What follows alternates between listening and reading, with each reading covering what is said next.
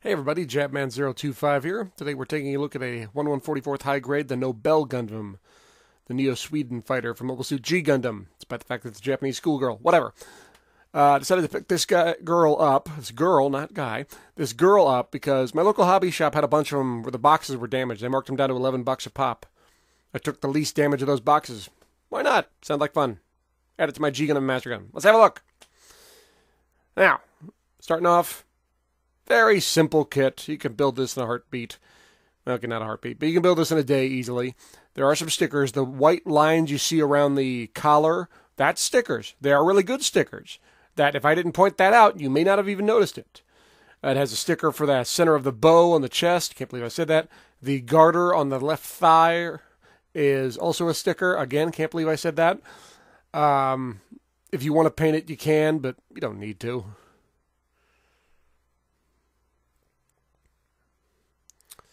And stands pretty much fine. Some lining to do, nothing major. Like I said, the stickers aren't as bad as I was expecting, quite honestly. And if you really wanted to paint, you could, but I think they look better with stickers.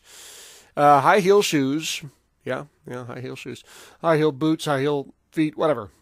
Uh, they will pop out of the ankle uh, connection a lot when you're posing. Do got some painting to do here. You see the hair or the fins or whatever the heck they are, the back, whatever. The point is, that's got to be painted. You got to do a whole bunch of lining on the back, and the entire inside has to be gray or black. I just went with the dark gray. Connection with a ball joint in the back of the head, and there's a little tooth in there that'll hold it in place from the if you want to have it straight down. But you can turn it from side to side, and it doesn't weigh a whole lot, so you can get a lot of posability out of the hair. Again, can't believe I said that. Comes with an action stand, white action stand, multiple connections for something else, which I'll show you later. Uh, see the other connection. Focus. Focus. There we go. Uh, connection right into the butt. Yeah. Uh, the lining on the back. Some gaps to kind of fill in. You can you don't have to fill those in. And like I said, the entire in part of the hair needs to be painted gray. Uh, extra hands. You get the open style hand. You get the peace hand or the V for victory hand. Um, also get beam sabers but they're not really sabers. I'll show you why in a bit. Because you get this thing, or these things rather. These are beam ribbons. Not double O ribbons, beam ribbons.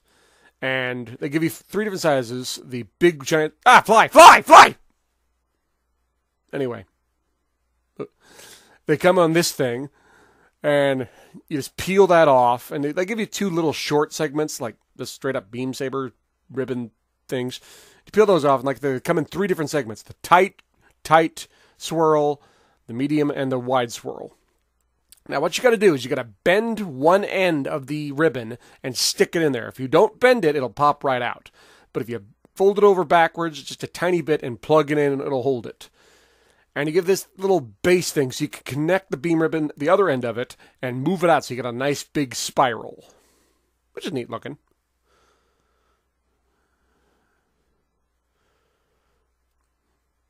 and you can have it just swirling around with the big wide one or the short narrow one.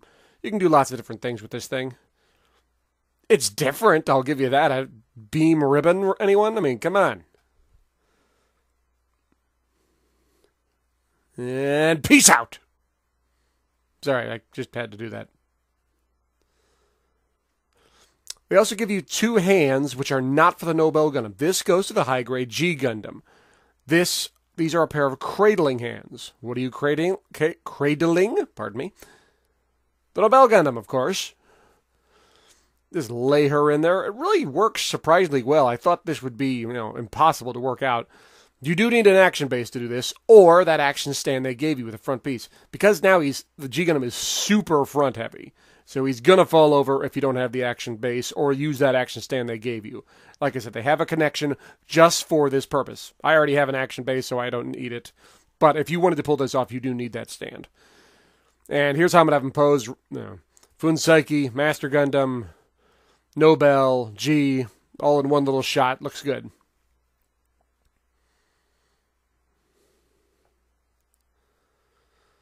Final thoughts on this kit? for 11 bucks that I paid, I can't get, give this a, not give this a thumbs up. It's a really good kit. It requires some work. It's a tad sticker heavy, but they give you an action stand. It can do all sorts of neat poses. Got some interesting, although might not a lot of accessories. The hands are nice. The the uh, hands they give you for the uh, G Gundam to create that cradling pose are real nice. Like I said, these three kits, the Master, the G Gundam, and the Nobell, are all kind of linked together through different parts. Uh, the G Gundam can go on Fuunsaiki. It can also can, uh, cradle the Nobell Gundam if you have that. It gives you the different pieces. So they're kind of all go together in one set. Uh, there's also a Berserker mode of this kit if you wanted to get that. More power to you. But I like this thing. The beam ribbon is weird, but it's novel. I'd love to see a master grade of this. I don't think it's going to happen. Prove me wrong, Bandai, please. Thumbs up. Good get. Well, guys, thanks for watching. Hope you found this enjoyable. Hope you found it informative. If you have any questions, please ask them. I will answer them to the best of my ability. Please stay tuned for more. I always got more reviews coming, and I will see you guys next time. Oh, and uh, one more thing. I will defeat you in the name of the moon. Uh, I'm gonna send you to the Negaverse. Am, am I drunk?